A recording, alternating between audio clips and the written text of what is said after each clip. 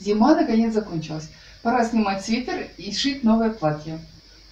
В качестве основного материала я использую этот стрейч с тюльпанами, а для расшивки я использую это синее платье. Дорогие зрители, подписывайтесь на канал, жмите на колокольчик и смотрите, как можно перешивать маленькие платья в большие. У меня есть два маломерных платья. Одно из стрейча с крупными тюльпанами, длинное, с подрезом под грудью. Лиф запутанный, но его можно использовать. Второе тоже стрейч, но немного мягче и тоньше. Тоже длинное и тоже с подрезом под грудью. Но лиф так грубо сделан, что я его просто отрежу и выброшу. Парю. Когда распорола оба платья, разобралась, что они оба расклешенные к низу. У цветастого спинка сшита из двух половинок, у синего только боковые швы. После рассмотрения исходного материала я приняла решение шить двустороннее платье трапецию. Достаточно было распороть только по одному шву, поэтому три шва снова застрочила. Складываю полотнище пополам лицом внутрь. Замеряю их длину. 107 сантиметров. Коротковато, мне надо 120. Придется сверху дошивать. Сделала выкройку на всю длину изделия. Совместила ее с готовым низом платья. Сначала сформирую горловину. Углублю ее вниз на 10 сантиметров и по плечевому шву расширю на 5 сантиметров.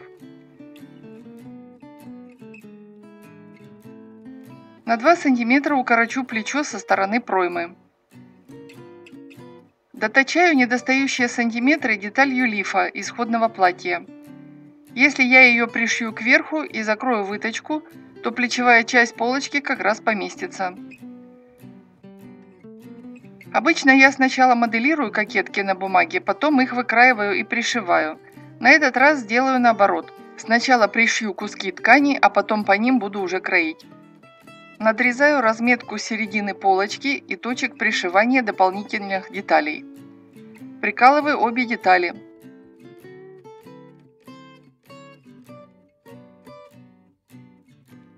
Убеждаюсь, что приколола одинаково. Приметываю, пристрачиваю.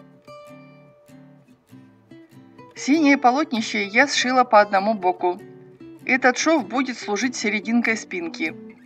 Точно так же раскладываю выкройку, выравниваю ее по низу полотнища.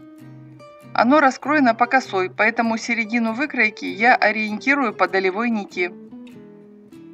Длины материала тоже немного не хватает, придется дошивать кокетку. Но сначала я ее сформирую. Укорачиваю плечевой шов от горловины на 5 см и от проймы на 2 см. Отрисовываю пройму, Углубляю горловину по спинке на 3 см. Порезаю лишнее. Смотрю, сколько не хватает материала. Приспосабливаю спинку лифа от цветастого платья. Получится логичная кокетка, и ее как раз хватает для наращивания полотнища. Отрезаю лишний материал. Скалываю и сострачиваю вырезанные детали посерединке спинки. Получаю готовую кокетку спинки. Прикалываю ее лицом к лицу к заднему полотнищу. Совмещаю по центральному шву, потом прикалываю в обе стороны. Приметываю, пристрачиваю. Нарастила оба полотнища. Спинка, вперед. Теперь можно моделировать и кроить. Выкройка полочки. Провожу вертикальную линию от вершины нагрудной выточки вниз. Раскладываю ее на материале. Совмещаю нижние края, середину выкройки и сгиб ткани. Прикалываю пока только по сгибу.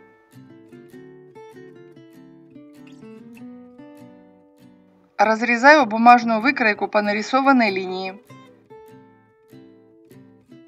Закрываю нагрудную выточку.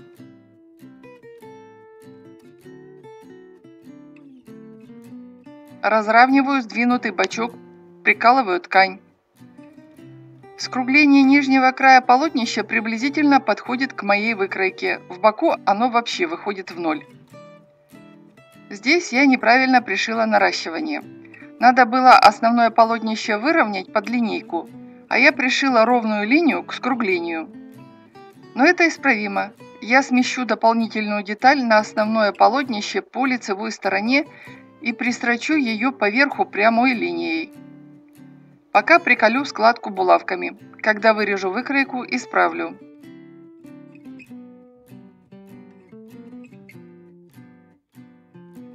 Очерчиваю размоделированную выкройку мелом.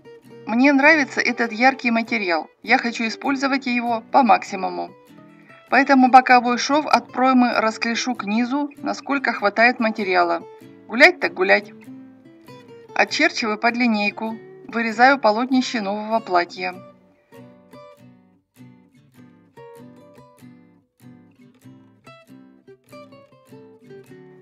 Спинку я размоделирую подобным образом. Резать вертикаль буду от горловины. Нарисую несколько параллельных линий, а потом на полотнище решу, какую надо резать. Раскладываю выкройку, выравнивая по долевой нити и нижнему краю полотнища. Прикалываю по средней линии спинки. Разрезаю выкройку по одной из линий. Раздвигаю ее по разрезу. В горловине и пройме выкройка проходит впритык, но этого хватает. Остальное расширю от проймы к низу под линейку. Очерчиваю выкройку, вырезаю готовую спинку. Сначала исправлю ошибку на полочке. Сметаю по лицевой стороне новый шов. Со стороны проймы выбираю все лишнее. Горловине вывожу строчку в ноль. По второй стороне делаю то же самое. Сейчас я это отстрочу по лицевой стороне и будет ровный шов кокетки. Пристрочила. Линия проймы искривилась, но это легко исправить ножницами. Теперь можно соединять полотнище переда и спинки. Стачиваю плечевые швы, скалываю, сметываю.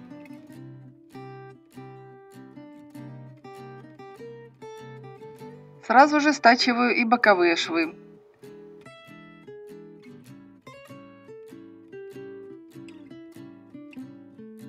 Все сострачиваю. Теперь надо отстрочить укрепляющей строчкой горловину и проймы. Отстрочила. Присобираю край горловины по строчке. Вытягиваю несколько сантиметров нижней нитки. По ней равномерно распределяю образовавшиеся сборки. Присобираю не сильно, чтобы горловина хорошо прилегала к шее и зоне декольте. Не оттопыривалась и не сильно сборила. Точно так же стягиваю проймы. Убеждаюсь, что стянула их одинаково. Ну и последний этап – декоративная отделка. Я выбрала самый ленивый способ – обшить готовой косой бейкой. Убираю лишние нитки стяжки, приметываю ленту к краю горловины. Заправляю в нее стягивающую строчку. Край материала подгибается на меня, поэтому работаю по изнанке. Если краешек выглянет из-под ленты, его никто не увидит. Соединяю концы бейки прямо на изделии. Отрезаю конец с припуском около 3 сантиметров – Сгибаю его пополам под низ. Накладываю на начало ленты, приметываю. Приметываю бейку к проймам. Пристрачиваю. Платье готово. Осталось отгладить и можно примерять. Вот оно, мое новое платье трапеция. Подходит на любой размер. Кокетка на спине вполне уместна.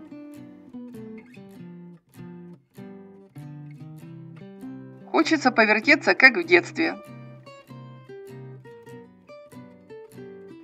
Ну, прямо ансамбль «Березка».